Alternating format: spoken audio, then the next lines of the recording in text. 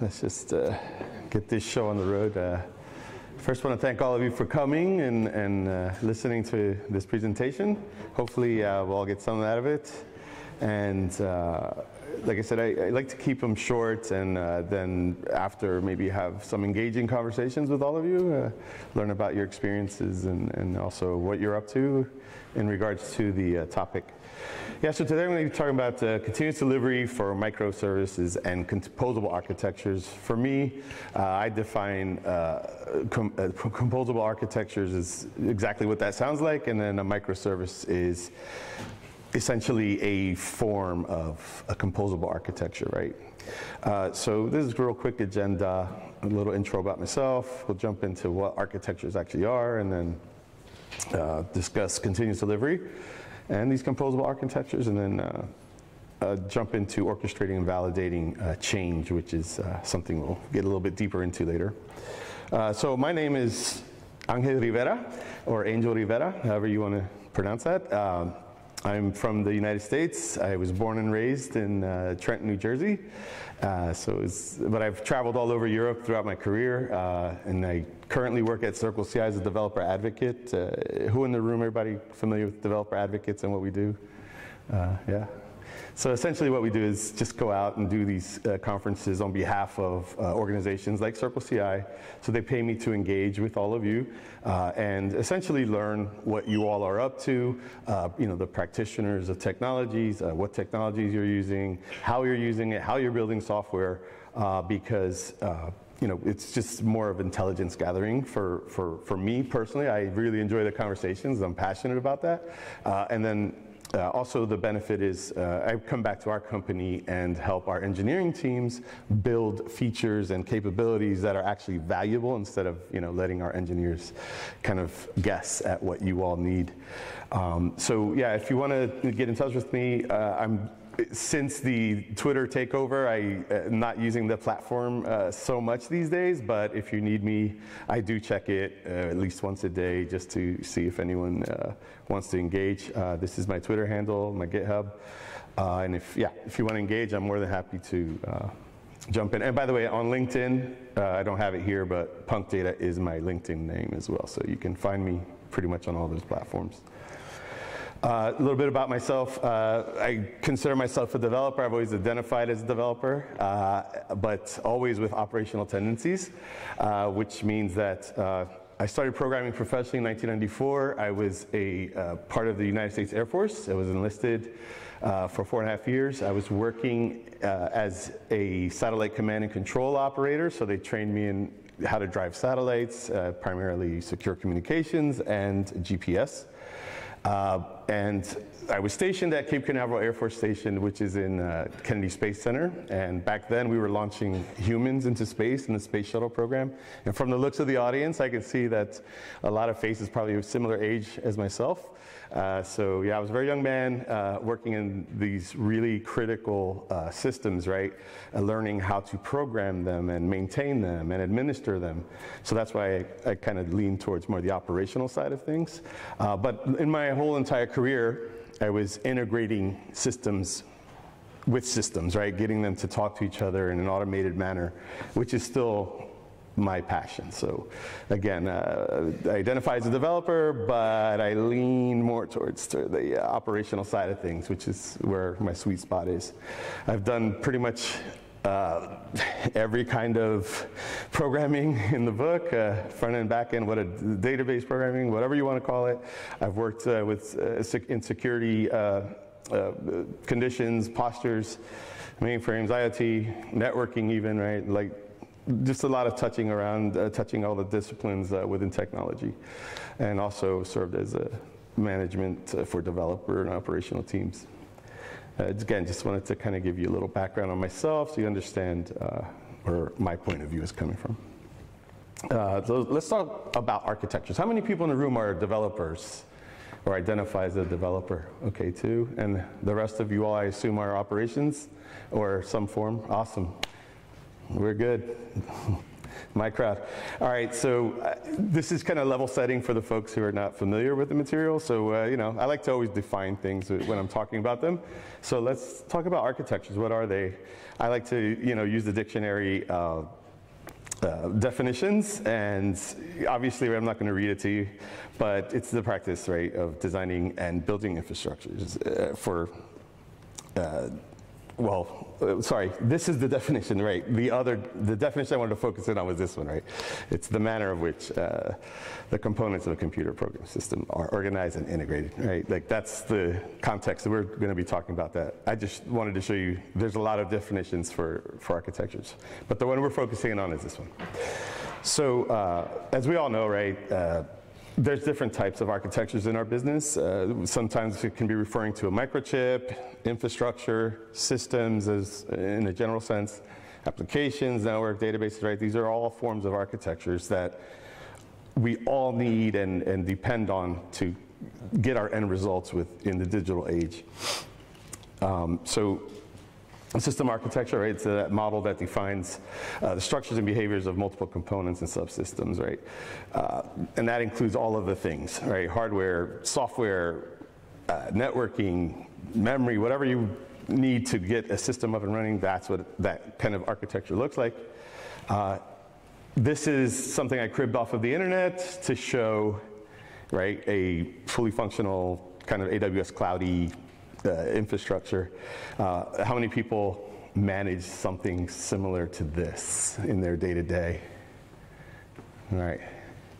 Yeah, I, I used to, uh, I, but I primarily lived in the database space for a long time, uh, which is kind of the where all the pain points usually come from, right? Like the persistence layers are always there's so many uh, details that you have to watch and monitor. Um, so today, though, we're going to focus on the application aspect of architectures. Uh, and this is a definition that I kind of cribbed again off the internet, um, but I'm not going to read it to you. The things I really would like you to focus on in this definition is basically the patterns to design and build applications that the most important piece of this is that meet the business requirement, right? So we all work for organizations that probably pay us a paycheck or, or we you know, contribute to projects, but at the end of the day, we're achieving a certain goal and it's usually related to some business requirements, right? Now, we've all seen similar diagrams, right? Like this is this simple architecture, fairly simple architecture. uh, architecture, application architecture, where we have you know the web interface layer. Then you may have some uh, RESTful APIs, and then within that you have a module that controls the data flow, and then you know up and down goes through that system. It hits your persistence layers, and then there's other services that are running in the background to. Uh, control that whole application and, and, basically provide the service that, uh, that, that you are intending for users to use. Now, we have two types generally that uh, I'm going to focus in on today above application architectures, the monolithic and uh, what I call composable. Uh, also, we can refer to it as microservices if you like. Um, how many people in the room are operating, and you could probably be doing both, but uh, monolithic uh, type of platforms or services today? Yeah, I, I, I, I, still consult a little bit and I still work in a lot of organizations that haven't really gone through that transformation.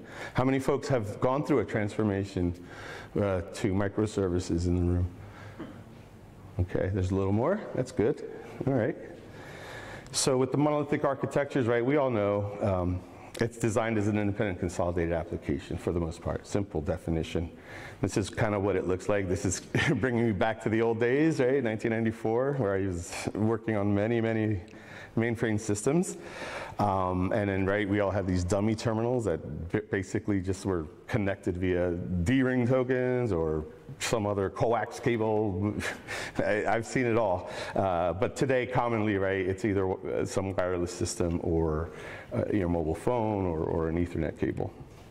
Now, um, monolithic architecture with a you know n tier meaning there's multiple tiers and the in this case i'm just showing you where the one tier is a, the persistence layer which is the database layer uh, and then right we have all the app you have the application kind of housing all of the services within it um, and yeah, just showing like again, level setting everyone. The cons of monolithic architecture. These are just some of the ones that kind of came to the top of my head when I wrote this. Um, but for the most part, right, uh, when I was working in, in, and developing in this monolithic architectures, uh, we have fixed application service models, right? Uh, they're difficult to maintain, and this was one of the pain points I, I saw wholeheartedly all over the place was, uh, you know, maintaining the code base efficiently as a team at scale, uh, especially when you're doing, you know, rewrites of things. It's really hard. It was really hard to collaborate on this stuff, and it still is today. It's a lot better with the tools, but it still can be. Uh, uh quite a problem. Uh, it was very difficult to integrate and maintain, right, with other services, especially if they were modern, um, just because a lot of times when we're dealing with monolithic, it tends to lean towards a like more legacy type uh, technologies, right? And then we start trying to build wedges in between things. So now you're adding more complexity to this application that probably should be rewritten at some point. Uh, but then again, right, like sometimes we can't do that, and that's okay too. Uh, but that's where like kind of microservices can come in and help. Uh, also, it's this is really a, a, pain point as well. Is it's really hard to leverage modern uh, software development practices, you know, to implement them and use them on a monolithic architecture. And uh, the reason why is, I, for me, in my experience, it's about the human beings not being able to, uh, like with all the cultures, right, uh, be able to collaborate around this. So you have camps that are like, oh, we're the monolithic camp or the legacy, sometimes they call them legacy type operators. Uh, and then you have the, the, the newer, edgier type uh, of, of developers that want to like implement the new things. So how many in the room have practiced waterfall? Yeah, me too. And obviously, right, we, the waterfall development is more of a sequential, right, block after block. You kind of have to finish the tasks before uh, in order to get to the, to the bottom layer tasks. In, in general, right, I've seen different uh, variations of this take place at different organizations and teams, but in general, it's a very structured, slow, and blocking process, whereas you know, we got smarter as engineers and we started developing software in more of a smaller scale, smaller scope, and we were able to then start doing things concurrently, right? So that sped things up a lot. And as you can see, right, the waterfall development diagram just kind of goes boom, boom, boom, boom, boom, cascading. And the Scrum or the uh, Agile development is more of a, you know, a lot of movement, in, but again, in smaller scales. And then eventually everything kind of just circles back into a centrally managed uh, system. So some of the modern day software development practices I was talking about, uh, I, I kind of showed you one already. It's agile software development practices. Uh, continuous delivery, which isn't new, but it's a little, a lot more modern than the stuff that um, I came up with. Uh, but there are always advancements in this, right? And that's where kind of where Circle CI lives in that space. Um, and you probably also know it as uh, continuous integration, continuous uh, deployment. And now, um, what's becoming more and more popular, uh, especially in software development, is release management processes. Um, and I'll talk a little bit about what that is. Is everyone here, uh, anyone here operating under like release management uh, processes or release management teams? One person, okay. Yep, it's, it's, it's kind of one of those things like depending on where I am and, and what city I'm in, it can be more people that are doing it, but it is becoming uh, more popular. And that's one of the things that I forgot to mention. Uh, and during this job, uh, I get to speak to thousands of people, and I am able to kind of, you know, uh, capture information about uh, what people, what, what processes people are using or implementing. And release management, in the, I would say after post-COVID, the events I'm going to, I'm having a lot more discussions and folks are, you know, conveying that the release management practices are becoming uh, more dominant. So the commonalities of these things, right? Like why are these people uh, implementing these processes? Because again, um, we're able to produce things uh, a lot faster because we're limiting the scope and we're becoming hyper focused on things. And when you have that situation, that also uh, results in increased efficiency. So if, if you're able to focus on something, you're able to generally get it done faster. And then you're also able to identify patterns that will help you uh, you know, refine those, those uh, the good things about your, your processes and, and make them even better, right? So um, let's talk about composable architectures since we kind of went through the monolithic. Um, they're designed to be very specific in functionality and less complex and extremely modular, right? So that means uh, you no longer have this big thing you have to update. It's the, the stuff is broken out into smaller, more manageable pieces, right? And again, they come in many flavors, right? Composable architectures. Uh, I'm going to focus on microservices because it is the most dominant, uh, especially in all my conversations, right? Everyone's kind of like focused on let's decouple our or decompose our, our, our monolith and the services into microservices. But that comes with a lot of uh, headache and, and, obstacles. Again, right, I'm not going to go super deep, but uh, you know, uh, we're going to talk about the decomposing of a monolith, right? So that was a picture of a monolith, and when you kind of decompose it, this is generally what something like a, application would look like. Uh, in the in the previous one, you had a one database, right, and everything was kind of uh, running off of that system. Um, now you will need to like you know the, the complexity just it got grew exponentially uh, generally what happens is you, you build a small service but then you have to add layers of uh, of other services to support it, which is generally in a RESTful API sense, right? There's other protocols you could use, but in general, these days, people are just starting with the RESTful APIs. And then every, as you can see in this architecture, every service now needs its own persistence layer, right? Because they have to be isolated and independent, or they should be, to, to be qualified as a proper microservice the way that uh, they intended it to work. Um, so I just want to show like a quick flow. So let's say users make a request to the like a user dashboard in a microservice. That dashboard then sends that request forward to maybe uh, the users updating a password or something. Goes to the user service, and then the, the backend APIs start talking to one another, right, and processing the information, and then eventually that uh, uh, conducts the transaction for the user. Um, and again, I showed you that, right? We broke apart this monolith and we have these four different applications now. Uh, not only does that make your architect, your actual uh, architecture infrastructure more complex, it also adds layers of complexity to the way you write the code for your application. So instead of having, I mean, and by the way, this is an example. You may, you, you obviously can use a monorepo. Uh, I am in the non-monorepo camp most of the time, but you do whatever makes sense to you. Uh, and I have my reasons, which we'll get into a little bit later. Uh, but for the most part, uh, generally what happens is people start also decoupling the code base, right? And now you have, instead of one repo, you have four. And for continuous delivery, it makes much more sense. This model makes much more sense. And, I, and the reason is uh, the current systems out there, uh, they're not really wired or, or designed to handle uh, interactivity right between services yet. Uh, I think we're getting a lot smarter about how we want to achieve that, but it takes a lot of um, of uh, rolling of your own kind of uh, CI/CD systems to achieve that. Eh, with Kubernetes uh, and uh, like Argo CD and all these other things, it's becoming a little bit easier. But again, right, you're doing like a holistic platform approach.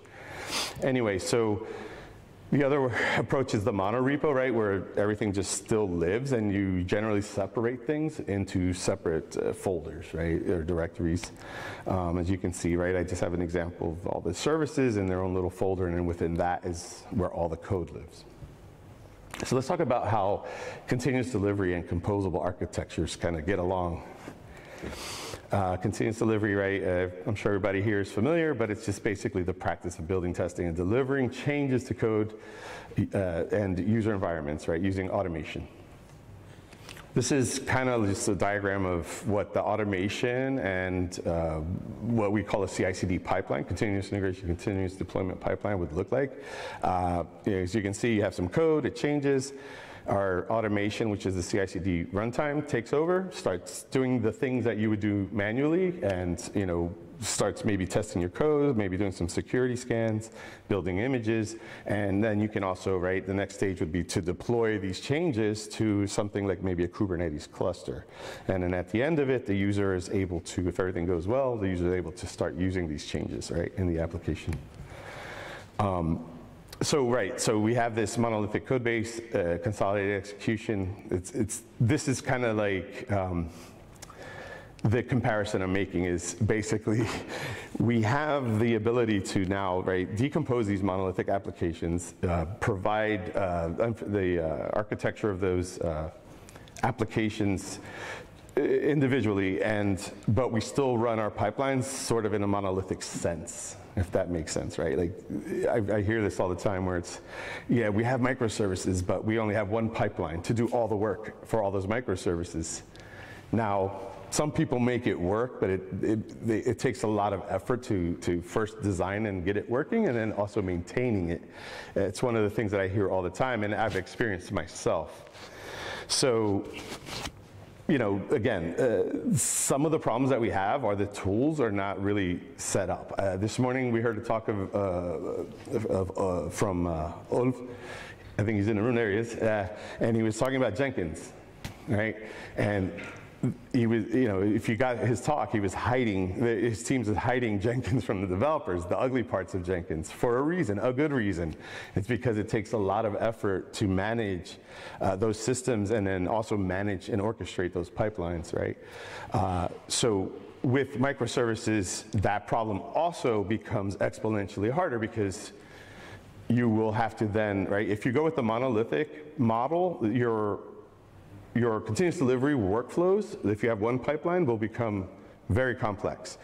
If you implement this, you know, uh, consolidate or uh, individual uh, code base uh, pipeline approach and mono, uh, uh, repo approach, then you will have four different pipelines for the services. So you have to kind of pick your poison. I would recommend this if you're able to, because yeah, you have four different poisons, but at the end of the day, they're a little bit more manageable from experience and from conversations. So for those of you that don't know, generally um, the systems today are triggered, uh, the pipelines are triggered usually for a, for a git push upstream. How many people trigger their pipelines uh, without a git push, like another, uh, another trigger? You have a system that does that, right? Okay. Yeah, this is the common, right, general one, so people are most familiar with.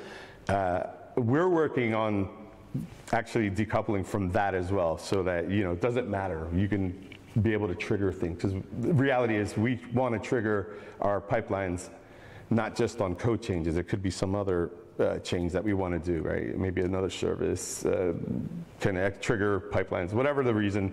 Uh, but this is the common one.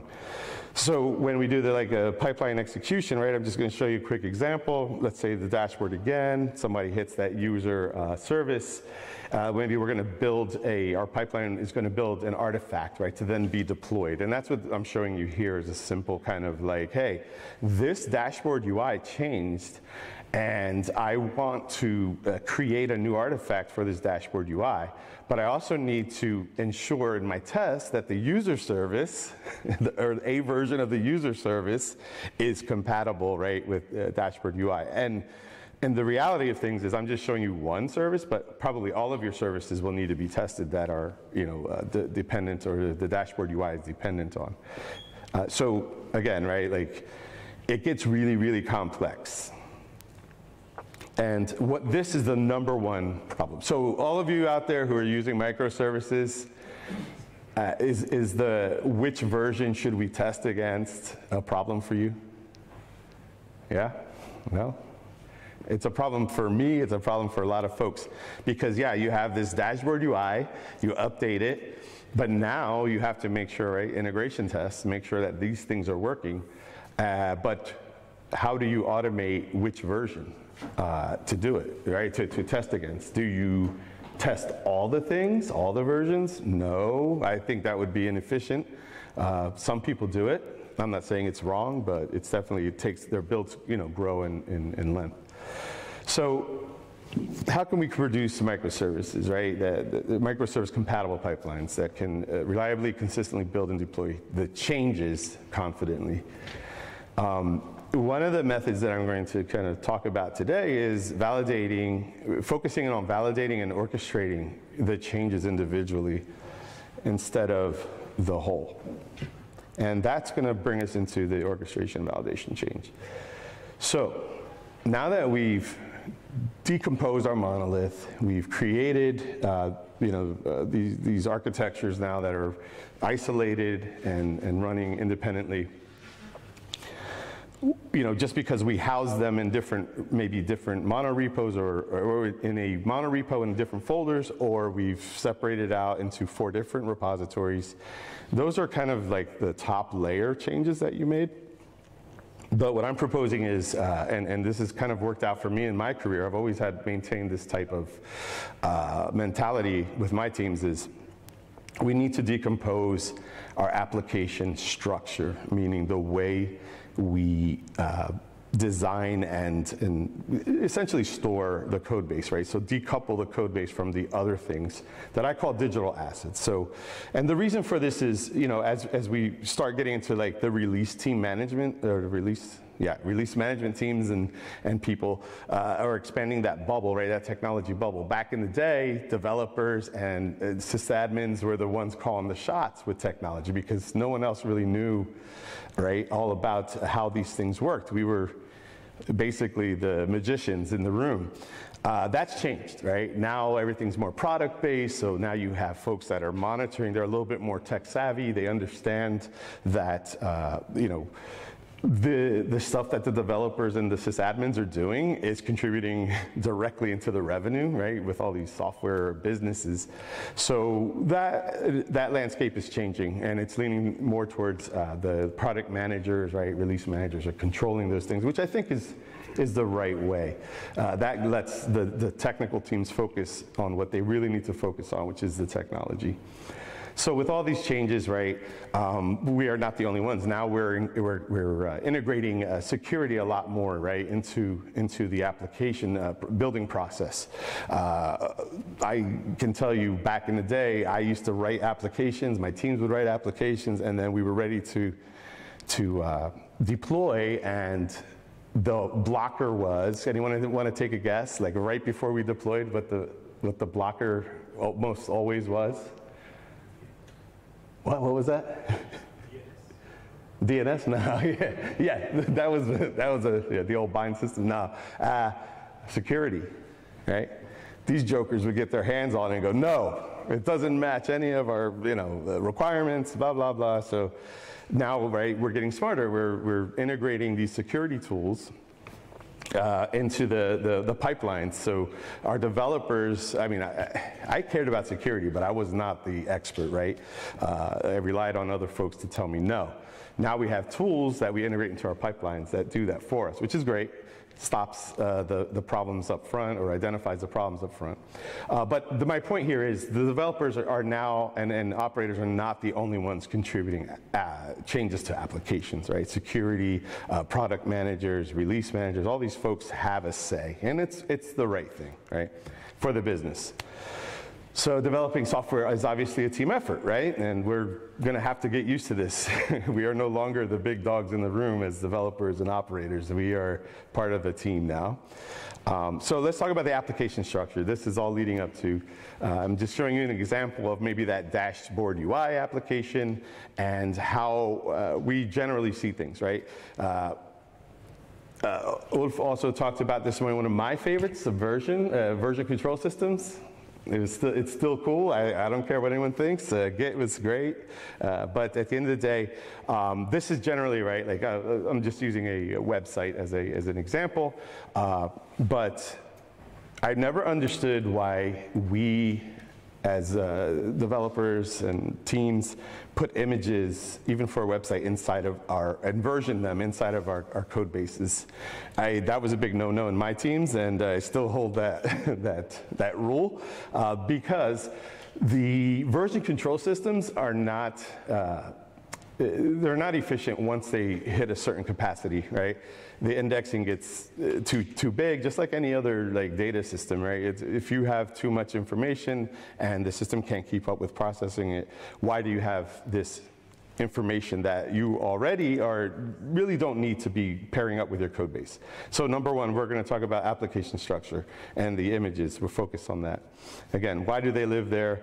Uh, the reason is we want everything in a one-stop shop, right? That like, okay, I can go to one place and see all the assets for my application, uh, but in reality, yeah, it's kind of a nice to have, but not very necessary. Uh, and I would recommend you reassess what you're doing in that application structure and all the bits that can kind of live somewhere else. Uh, remove them, right? De decompose them, just like that microservice. Uh, and they all should not live in Git, right? There shouldn't be multiple images living in Git. Also, why do you want a person? Git is a complicated system, right? Like, I struggle, and I've been doing this for a long time uh, you know, uh, merge conflicts and then uh, taking and rebasing, and, and it just adds layers and layers of like un, un, unnecessary uh, uh friction, especially if it's a person like a, a graphic designer, and that's why I'm using images. We give these people control uh, over our source code, and they don't even know fuck all about, right? Uh, uh, code, most of them don't. They just want to do their images and, you know, get you a bunch of sizes that you need for your site and be done with it. So, again, one of the other, like, reasons why I don't allow it is because I don't want folks that are, that shouldn't be in there, you know, work, working and, and kind of, excuse me, uh, yeah, causing havoc in, in the system. Excuse me, sorry. So I call those things things like images, right? They're, they're, there are critical elements to your application, but that are not source code. So we'll just use them, we'll just define them as digital assets. So going back to our example, um, decoupling, right, the, that application architecture I believe is really important. And this is the reason why. Why are you versioning images in, a, in our VCS, right? And then you're only going to go and deploy that to S3 anyway, right? You're going to serve those images. This is what happens all the time. Um, so why are they even, aside from like, yeah, it's nice to have everything in one place, but um, why don't you just leave it in S3 and let that version? Now I know back in the day S3 didn't have versioning, but it does now and it's a place where like your developer, or, uh, like your graphic designer, they're used to S3, right? They understand that. It's a simple upload, download situation. Um, and you can keep all that stuff there where you're going to serve from anyway, right? So this is just a different perspective on how to decouple your application structure and then kind of separate the concerns so that the developers are focusing in on the things and the tools that they use day in, day out with uh, reduced friction from external entities that really don't want to be using those tools and don't understand the tools. So I'm closing up here, but uh, digital assets can exist outside of your code, as I showed you, right? The S3 example, it's very popular these days. Um, meet your developers or non-developers where they are and not in your repos. It's really important. Uh, I've done this many, many times where I've gone into organizations that were like all-in-ones and then I start slowly teasing things out. And believe it or not, it's such a great morale booster. People start understanding their, you know, their boundaries and, and then they're a lot more helpful to each other because they're like, yeah, you know, I'm in S3, you're in, in, in Git. The friction is gone. There's no more uh, mistakes by you know uh, graphic designers uh, creating merge conflicts, and it sped up our releases quite a bit actually. Uh, you know, so again, right? Like just use these uh, this advice to provide new perspectives uh, amongst your teams, and also you know revisit your mechanisms to basically work smarter, not harder, right? Some of the stuff you're doing that you probably inherited, like I did, lots of times, uh, it doesn't mean, you know, just because you inherited it and it worked doesn't mean it's the right way, right? Uh, try to look at those things from a different perspective and look at it, you know, how you can tease things out, maybe isolate your, your work in a certain way. Uh, and that's, again, validating those changes that I was talking about. And uh, basically, your pipelines should not be concerned about, you know, the locations of it. I'm missing a word here. The locations of your source code or your your digital assets, right? Like you can, like I showed you in that example, you can actually probably work a lot faster and less and a lot cleaner if you just take a little bit of time and kind of organize the application structure uh, to your needs, right? Everyone's kind of different. Everyone builds software different, but if you can standardize, uh, which is one of the, the other points Ulf made today, uh, you can actually achieve a lot of efficiencies. So I think, uh, yeah, this is the point. Uh, decoupling your digital assets from your code helps in definitely building microservices that are compatible, right? Pipelines that will kind of help you understand your changes and the validation of those changes. Uh, so in closing, uh, if you are interested in uh, benchmarks for uh, what we at CircleCI call high performing teams. Uh, we release this annual report where uh, we have, you know, we build software for a ton of uh, companies and, and, and, teams. So we have a lot of performance data, basically very anonymized, right? We're not talking specific companies, but what we do is aggregate the information and we uh, provide information uh, based off of our usage and our performance on our systems by our customers, uh, what we call the state of software delivery report. So it's a nice report to kind of, if you're trying to start benchmarking, you know, your performance uh, based off of your continuous delivery, um, you can get this free report that we produce, uh, and it's it's got some good information in there about how, you know, what, what kind of benchmarks you could be looking at, and then start a starting point for you to build your own. I, I recommend if you're interested in, in yeah, increasing performance uh, on, that, on the software release side is probably give you some information. So, uh, and I was my colleague uh, Jean just told me earlier that uh, we probably will be releasing. I don't want to give a time frame, but very soon, within the next month.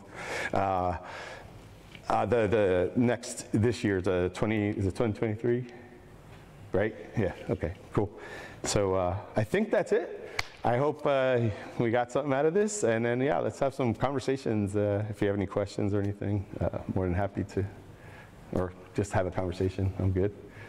yeah, thank you, thank you. so, is there anybody want to want to call bullshit on me, or or no? Oh, come on, there's got to be one. I can't leave. Does anybody like mono repos? Who likes mono repos in the room? Raise your hand. Wow, I know you do. I got that. So, all right. Well, if nobody wants to talk to me, we're good. Thank you for coming. I appreciate you all. And uh, yeah, if you see me, we can have a beer or something. What was that?